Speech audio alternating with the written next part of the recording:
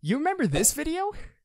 Yeah, it's complete garbage, so let's make a new one instead. I created a video about a year ago called How Do I Make My Videos? That specific video talked about my creative process when it comes to YouTube, which hasn't changed all that much. Now, since I've learned a lot in a year, I figured I would share some of this information with some of you aspiring YouTubers. If you don't care about that, well, um, Check out my collaborations playlist since I'm always posting stuff there. 8 things. Behind the scenes maintenance, first impressions, playlists, collaborations, captions, distribution, consistency, and something to remember. The very first thing you should do is go to your channel and press the gear right there please. This gives you the ability to customize your channel to its full potential. Channel keywords are also another huge important thing. You know that annoying thing when you type in Jimmy's sick Call of Duty Quickscopes channel that was recorded on a potato, but you just can't find it when you type in, hey, it's your boy Jimmy into the YouTube search? It's because,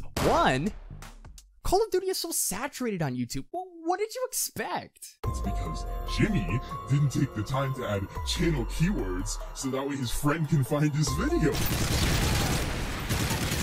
Oh, Jimmy. Oh, did you know that I have links on my banner? No?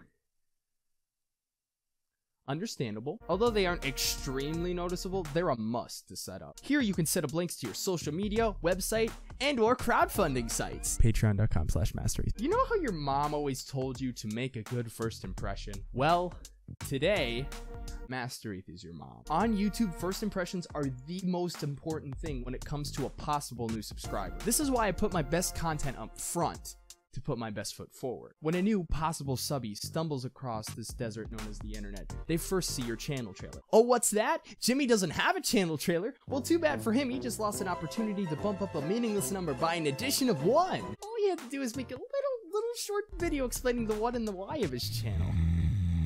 Darn it, Jimmy. Since Jimmy is literally incapable of doing anything right, I suggested that he set up the front of his channel as follows. Channel trailer, best videos playlist, uploads, popular uploads, collaborations, and then from there, any other playlists you want. If you're the kind of guy who has four different channels that you're active on, you can actually add playlists from other channels to your channel, which is really nice. For example, I have my vlogs, cool dude videos, podcast, and live stream playlists on my channel near the bottom to attempt to drive traffic to other channels. Speaking of playlists, these are some that you should add to your channel. Best videos playlist, collaborations playlist, and some playlists titled by year. A best videos playlist because you want people to see your best work and not a video that you made a year ago that you absolutely hate. A collaborations playlist so that way everybody can see all of the collaborations you've been a part of so far. And lastly, a playlist by year so that way you can see how much you've progressed over the years. One of the main ways to gain subscribers is to collaborate, just like I've done. My advice is to find like-minded people like you and also to find people in your niche. There's some people who say, don't collaborate with them unless they have the same amount of subscribers as you. To which I say, if you both create great content and you really want to collaborate with each other, and the only thing that's stopping you is sub count, just collaborate with them. I've mostly collaborated with people that have less subscribers than me, and I do this for multiple reasons. One, if I see true passion and potential in a fellow YouTube creator, I want to support them any way I can. Two, even if I don't gain a single subscriber, it's still exposure for my channel and helps get my name out there on YouTube. Reputation is key in the YouTube community. You know who doesn't have a good reputation?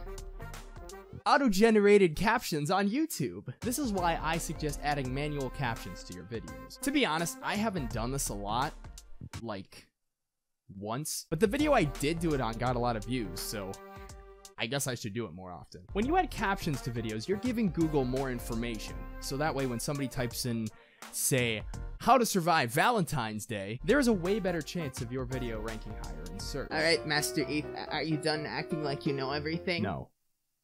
I am not done. But thank you for asking. Distribution. Once you post a video, you should be spending hours and hours promoting it on different sites, but not in a spammy way that'll make everyone, including your dog Scruffles, hate you. I recommend joining a bunch of YouTube Facebook groups, YouTube forums, and if the topic that you're talking about is very specific, like say, Hiveswap, I would go to some Reddit forums about Hiveswap and post it there. If you're serious about YouTube, consistency is top. I'm talking about top priority. If you say you're gonna post weekly, People expect you to post weekly. For me, every two weeks works, and that's for multiple reasons, such as work, school, and other creative projects, such as podcasts, vlogs, and other content on my extra channel. Find a schedule that works for you personally and stick to it. I'll leave you with this last thought passion, progress, and patience. Be truly passionate about what you create. If you aren't, who will be? Make progress with your channel and improve with every single video you create. Be patient, always. This is a very long journey. Thank you for watching, everybody. If you're new here, please subscribe and press that bell. And I will see you later, so bye.